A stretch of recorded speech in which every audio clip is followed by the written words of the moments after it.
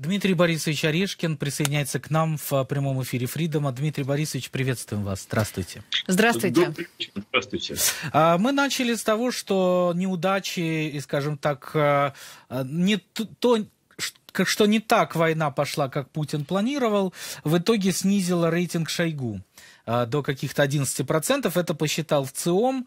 Отдельный разговор э, к, соци... к социологии российской сейчас, mm-hmm. понятное дело. Например, вот тот же, тот же в ЦИОМ посчитал, что 36% россиян просыпаются в хорошем настроении. Интересно, как это вообще все можно считать. Но, тем не менее, Насколько действительно э, война, полномасштабное вторжение и то, как она, э, эта война развивается, э, обнуляет, скажем так, рейтинги путинского политбюро. Все-таки Шойгу был одним из самых э, таких накачанных рейтингом, э, приближенных к Путину.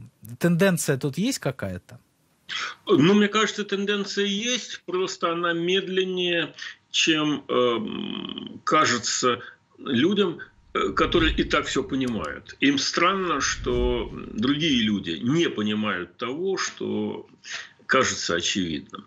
А, дело в том, что интоксикация пропагандистская, она, конечно, на разных людей действует очень по-разному. Так что я думаю, что можно говорить про примерно три этапа созревания общественного мнения России, связанных с войной. Первый – это щенячий восторг. А, мы поднялись с колен, мы сейчас поставим всех на место, объясним, кто мы такие и кто они такие. Имеется в виду Запад, конечно. Второй этап, ну, он начинается примерно где-то с осени, с мобилизации. А, некоторые разочарования, а, которые проявляются ну, и в некоторых э, отступлениях рейтинга Путина во время э, мобилизации. Потом, правда, он восстановился, надо это иметь в виду. В том, что обещанных легких, быстрых побед как-то не наблюдается, маленькой победоносной войны нет, а, появляется некоторая усталая раздраженность. Вот это второй этап. Значит, э, сказать, что война была неправильная, сказать, что Путин преступник, общественное мнение не готово. Потому что это означало бы признать себе самому, э, что тебя обманули, а ты поверил. Э, это еще впереди. А сейчас вот такой вот э, раздраженного непонимания. Это проявляется в том, что не только съезжает там рейтинг Шойгу и, например, там Лаврова. Ведь последние 10 лет эта тройка уверенно держала лидерство. Путин, Шойгу, Лавров. Вот эта вот риторика жесткая такая, что вот мы всем сейчас нос утрем, а, она же практически никак не проверялась, а в телевизоре звучало очень громко. Вот как только началось столкновение с реальностью, так Путин остается высоко, логика такая, что да, что-то не так, но, видимо, это или генералы зажрались, плохо воевать умеют, или предатели, пятая колонна, или потому что против нас выступил весь белый свет, но на Путина пока общественное мнение вины не возлагает а возлагает на бояр, как всегда. В данном случае ползет вниз и Шойгу, и, и э, Лавров. А самое важное, падает доверие к официальным источникам средств массовой информации. Ну, работает старое правило, что можно обманывать людей довольно долго, но не бесконечно. А, и вот, э, вот это вот недоверие к телевизору в целом, усталость от этой пропаганды и сдвиг интереса, а ходить, уберите у меня эту войну, мне, я в этом ничего не понимаю, Путин прав, он нас защищает, а у нас свои дела, мы лучше поговорим про что-нибудь более приятное, про детей, про там, песенки, пляски, про футбол и так далее. Это вторая фаза. И третья фаза, когда начинается когнитивный диссонанс. То есть полный такой тоже. А где победа? Вот э, похоронки мы видим, и видим их воочию. Э, повышение цен в магазинах мы видим. Слышим победную риторику про то, что санкции нам ни по чем, и мы по-прежнему там впереди планеты всей, но она уже приелась. И вот как раз где-то следующего лета, а может быть следующего осени, я не знаю, я не берусь предсказывать временные рамки, начнется третий этап, самый для Путина опасный, когда уже на него будет возлагаться какая-то часть ответственности. Не вся, конечно, потому что всегда останутся какая-то часть людей, которые до упора будут верны э, своим э, идеалам, которые им навесили на уши из телевизора. Ну, или из средств массовой информации, такие люди, как Пригожин. Э, я думаю, что существенным моментом как раз в этих переломах общественного мнения станет и судьба Пригожина, потому что он ведь тоже на ниточке висит. Его популярность росла-росла, в вашем сюжете об этом было верно сказано, до февраля. А теперь э, и Путин как-то так стал менее восторженно к Пригожину относиться.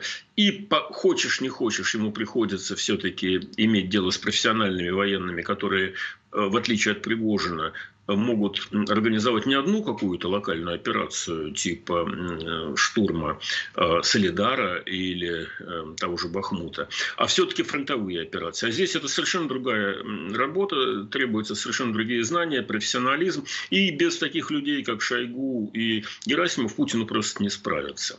Так вот, популярность среди военных у Пригожина в последние недели, мне кажется, идет вниз. И тут хорошим репером или маркером служит э, товарищ Кадыров, который вот все время ходил в обнимку с Пригожиным, они вместе э, мужественно крыли Шойгу, Герасимова и прочих генералов. А теперь господин Кадыров перекрасился и говорит, что да, армия делает правильное дело, а от Пригожина старается держаться подальше. Я верю в верховое чутье господина Кадырова. Он понимает, что Пригожин сдувается. Судьба Пригожина связана с Бахмутом. Если он принесет победу под Махмутом в зубах э, Путину, э, он будет на коне. Если он не сможет удержать, э, не удержать, а захватить Бахмут, то он исчезнет довольно быстро. И тут, тут как раз начнется вот тот самый третий этап, потому что Почему Бахмут так важен? В стратегическом, там, военном плане, наверное, он не важен. Я небольшой стратег, но думаю, что, ну, в конце концов, сдвинется линия фронта к новым, заранее, давно подготовленным, очень хорошо обустроенным за несколько месяцев э, оборонительным рубежам. Но идеологически это чрезвычайно важно и, важ, и важно и для Путина, и для Пригожина в первую очередь, и для всего общественного мнения. А оно, общественное мнение, путинское общественное мнение, жаждет просто хоть какой-нибудь маленькой победки. Вот маленькое сельцо какое-нибудь там захватили пригожинцы, даже, может быть, хутор. И восторга в социальных сетях э, просто э, целое море. Сбили вот этот э, маленький, ну не маленький, один беспилотник над Черным морем. И тоже люди с такой радостью это все друг другу ну, это, пересказывают. Знаете, какое-то вот. подтверждение какого-то величия, на которое все надеялись. Вы просто заговорили Э, о, о Пригожине. И тут, знаете, такая ремарка, э, уже также несколько дней в эфире это обсуждаем, да и не несколько дней дольше, что, э, в принципе, ну, военным командирам некоторым российской армии не очень-то выгодно, чтобы Пригожин в зубах Бахмут приносил, если уж Конечно. говорить о внутренних каких-то конфликтах. И вот мне очень интересно, вы очень много интересного всего сказали, что э, есть несколько фаз, детально каждую объяснили, а мне интересен итог. Вот ведь сейчас э, россияне э, в большинстве своем на улице выходить боятся, потому что, ну, это страшно, потому что Путин все еще страшный. А скажите, когда осознает большинство все-таки все эти неудачи на фронте, э, то, что даже некоторые неудачи произошли, возможно, также отчасти из-за внутренних конфликтов между а, армией и между ЧВК. Э, вот это вот разочарование, оно э, выльется в то, что перестанут элементарно бояться? Или э, во что это может вылиться? Может ли это излечить это разочарование россиян от такого страха какого-то надуманного великого Путина? Или все-таки не стоит на это надеяться? А, ну, смотрите, во-первых, надо понимать, что общественное мнение в России, ну, примерно из трех кусков состоит. А, вот 25% это твердые путинские, так называемые турбопатриоты, которые, сцепив зубы, будут идти за ним э, э, вплоть до крестного пути, там, э, Голгофы какой-нибудь. Во всяком случае, они так думают. Как они себя поведут на самом деле, это отдельный вопрос. Но они их не переубедишь. Примерно столько же, 25%, может быть, 20%, это те, кто с самого начала понимал, что война чудовищное преступление, чудовищная ошибка, чудовищная глупость. Э, и э, настроены против Путина, но держат язык за зубами, потому что могут оторвать язык вместе с головой. Это все очевидно. А самое главное, это те 50% оставшиеся, которые, как политтехнологи говорят, являются шлейфовым электоратом. Он всегда присоединяется к сильному, к лидеру, к тому, кто с его точки зрения победил. Вот сейчас в их представлении э, побеждает Путин.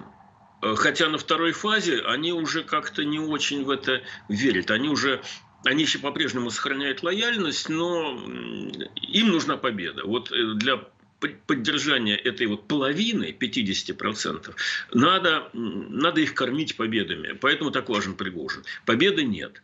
И, собственно говоря, те перемены, о которых вы говорите, начинаются тогда, когда вот этот шлейфовый электорат начинает отваливаться от путинского ядра. Вот этот 50% конформистов. А, э, что значит э, путинский страх? Страх можно пересилить только еще большим страхом. И когда у людей будут испытывать страх, что придут, заберут э, сына, брата, мужа, отца, кого угодно еще, и убьют, погибнет он там на фронте.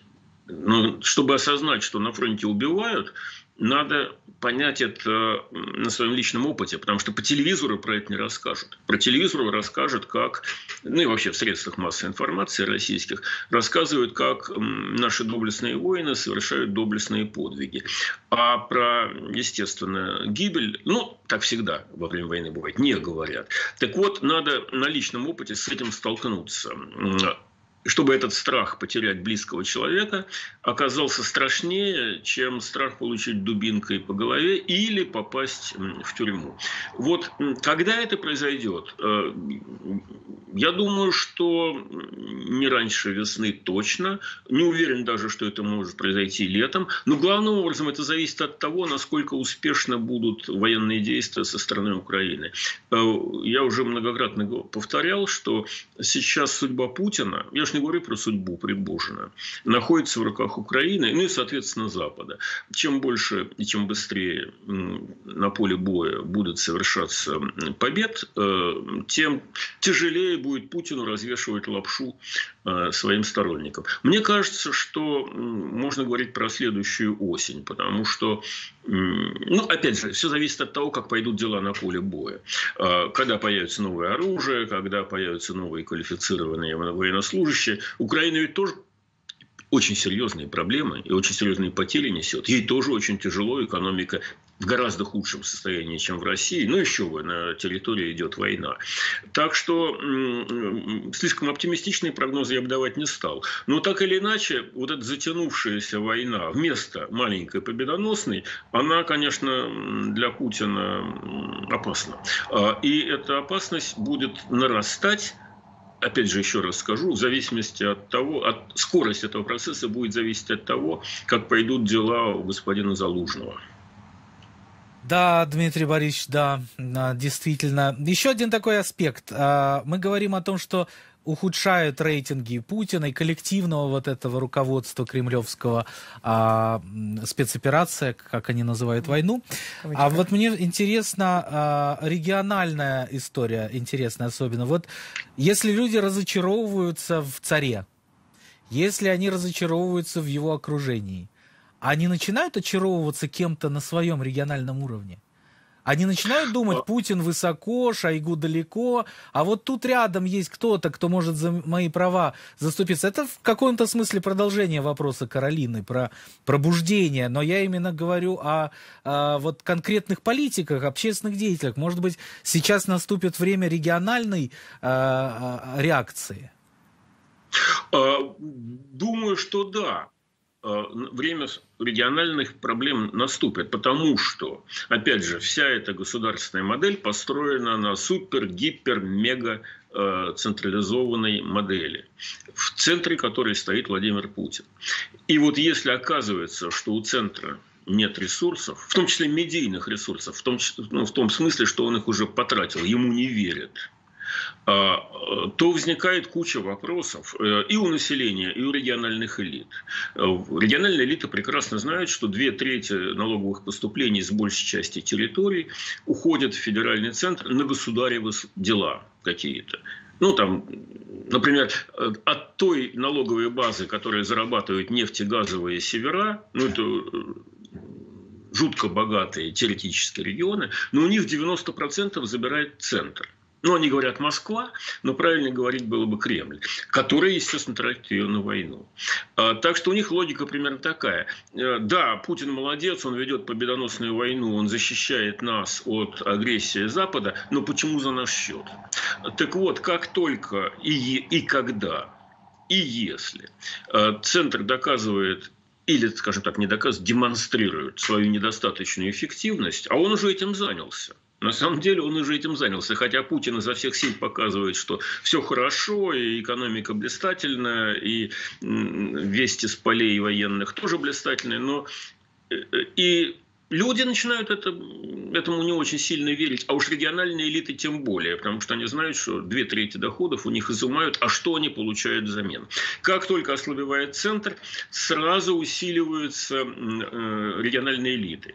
Проблема Путина, вернее так скажем, противоядие Путина заключается в том, что региональных элит нет – вот нет э, э, лидеров, которые могли бы замкнуть на себя э, интересы регионов. И этих людей Путин истребил вместе с федерализмом, вместе э, с Советом Федерации, э, ну, вместе с так называемыми региональными тяжеловесами еще почти 20 лет назад. 20-15 лет назад он федерализм уничтожил.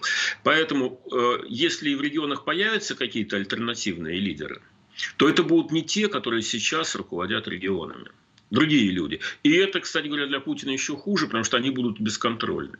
А это бесконтрольные, в смысле, они не системные, они не встроены в эту систему. Путин может командовать своими наместниками, потому что он их сам туда поставил, и они от него целиком зависят, как какой-нибудь там господин, кажется, Дегтярев, его фамилия, которого вместо Фургала поставили. Кто он такой? Его местное население глубоко и искренне презирает. Это человек, поставленный Путиным, и висит на путинской ниточке. Если ослабевает Путин, то ослабевает и его ниточка. Это вполне понятно. А потенциал для региональных нестроений, как выражаются в православной церкви, есть. Потому что в регионах люди прекрасно понимают, что деньги стекаются в Москву, а и как бы, как, как насчет денег, так, пожалуйста, обращайтесь э, в Кремль, он там все, всем командует. А как насчет на фронте дохнуть, э, извините за выражение, э, так это как раз депрессивная провинция. Кто воюет-то в основном? Бурятия, Северная Осетия, э, там, Дагестан и так далее. Не обязательно только люди э, бурятской национальности. Нет, жители Бурятии, в том числе русские, там, украинцы, кто угодно, евреи, которые там живут, забрили человека и послали.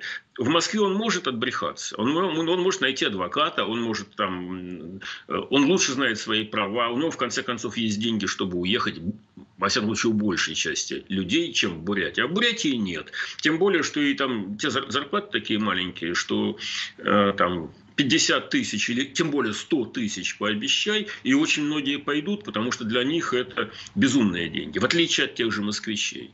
Поэтому да, Э, война ведется за счет депрессивных регионов. Налог кровью платят депрессивные регионы. И если вы же, будучи мужчиной призывного, призывного возраста, живете в Бурятии, у вас шансов погибнуть на украинской войне в 100-120 раз больше, чем у москвича ну, в пересчете на процент населения. Это не потому, что буряты, еще раз скажу, это не этническая проблема. Это проблема территориального депрессии, депрессии территориальной. У нас очень много регионов, которые отстают в своем развитии. И чем он беднее, регион, по официальным рейтингам, тем пункт первый, там выше электоральная поддержка Путина – потому что там нет гражданского общества развитого, и можно некому сопротивляться грубому электоральному фальсификату. И пункт Б, тем больше оттуда берут людей, или как в качестве добровольцев за деньги, или в качестве призывников и бросают их на фронт. А люди-то в регионах не дурее москвичей, и,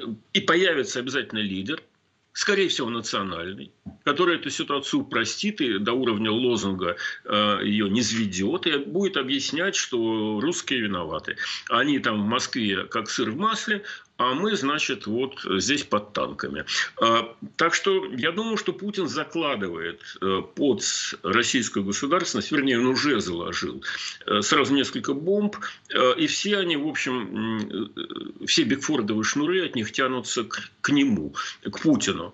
А, собственно говоря, спичка в руках у того же Залужного, которого мы с вами говорили. Чем слабее центр, тем очевидно, менее, менее не то что эффективно, а менее операционально управление, потому что его перестают бояться местные начальники, появляются альтернативные лидеры общественного мнения в регионах, и э, система менеджмента, вот такой замкнутого на одного человека, она начинает расползаться. И вот здесь начинает расползаться российская государственность.